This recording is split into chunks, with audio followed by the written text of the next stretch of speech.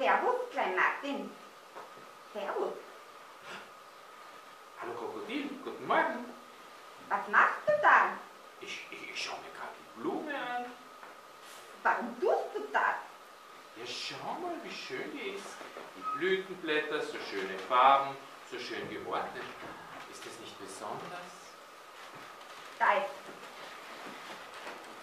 da ist gar nichts Besonderes.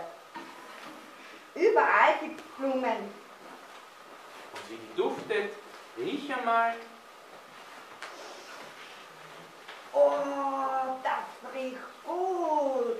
Hm, woher die Blume wohl weiß, dass sie so schön wachsen kann und wie sie den Duft wohl macht. Die kann es einfach. Ja, von was leben die Blumen? Von Büttel, vom Frick und Büttel. Nein, wer gibt der Blume zum Fressen? Die kann ja nicht herumlaufen und sich Futter suchen. Die Blume muss ja von irgendwas leben, Krokodil. Gute Frage, Klein Martin. Keine Ahnung. Äh, äh, doch, ich weiß. Von Wasser, vom Regen, vom Regen sie.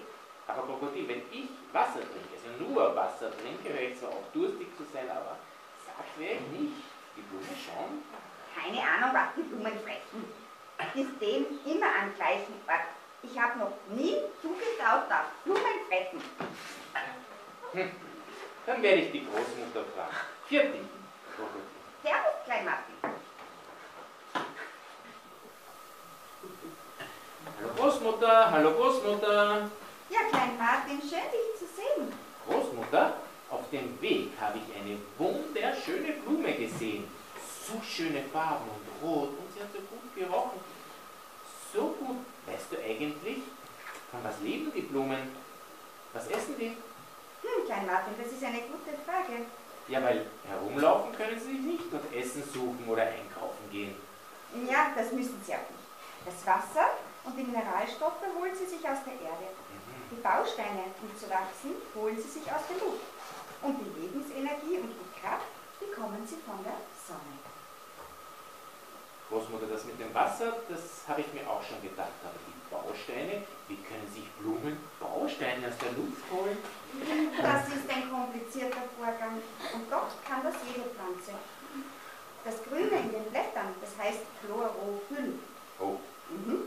Dieser Chloro was? Chlorophyll. Okay, füllen Sie sich. Ja, dieser Stoff kann, wenn die Sonne drauf scheint, Teile aus der Luft aufnehmen und zerlegen.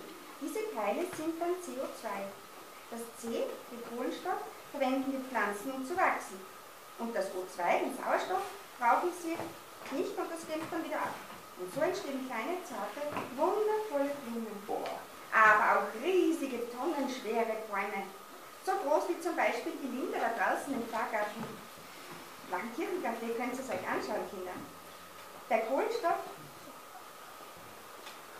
die, ba die Kohlenstoffbausteine nehmen sie aus der Luft. Das heißt, die, die Pflanzen leben von der Luft. Mhm, Nicht ganz. Sie brauchen dazu immer Sonne. Oje, oje. Warum oje? Ja, wenn die Sonne einmal nicht scheint. Aber Klein Martin, die Sonne scheint jeden Tag, auch wenn Wolken sind. Immer ist genug Licht da. Das hat sich aber jemand wirklich fein ausgedacht. Die Pflanzen müssen sich also nur jeden Tag nur so ausstrecken zur Sonne und schon werden sie satt. Das hast du schön gesagt. Das ist bei uns ähnlich. Wie? Und, ja, du weißt doch, im Vater unser beten wir, unser tägliches Brot gib uns heute. Ja. Da bitten wir Gott, dass er uns geben möge, was wir jeden Tag brauchen. Mhm, meinst du, dass Gott wie die Sonne ist? Wir müssen uns einfach nur zu ihm ausstrecken? Ja, jeden Tag versorgt er uns. Immer, jeden Tag? Hoffentlich. Genau darum bitten wir in jedem Vater unser. Und wenn ich zu dir komme, bekomme ich immer den Kuchen, stimmt's? Ja, ja Immer, jeden Sonntag. hoffentlich. Klein Martin, ich hab Ich dich auch, Großmutter, du bist die Beste.